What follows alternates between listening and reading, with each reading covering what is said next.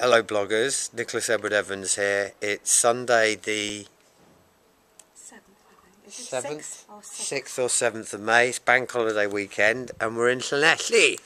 Um, so we're coming here from Brimall Road in the garden on a beautiful sunny day, Sunday morning about half 11. So we've just cleared up after having Sunday lunch. So uh, I'm just going to I'm just going to Hang on. you- you show there the back Brim- this is the back of Brimall Road here which is all the old terraced housing across there with the old washing lines there.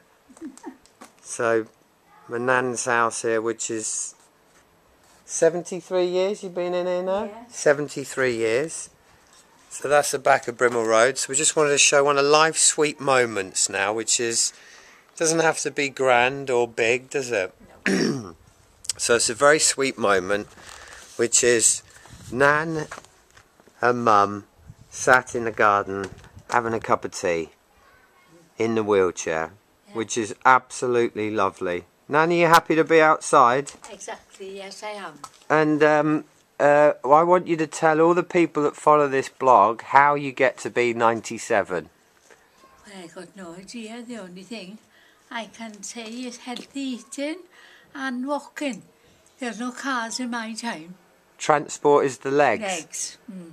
Perhaps that's why they're so, what's it called? And what about drinking and smoking? Oh no, Not today. no, no. No, she's given up a 70 a day habit. Given up the 73 a day. Just for just for today. So that is uh, Mrs. P, Lillian Probert, Nan, the wonderful the superstar. Everyone loves you, Nan. Oh, thanks, Ellie. Thank you very much. So there we are. What a beautiful moment. I love this moment. love you all too. That is delicious.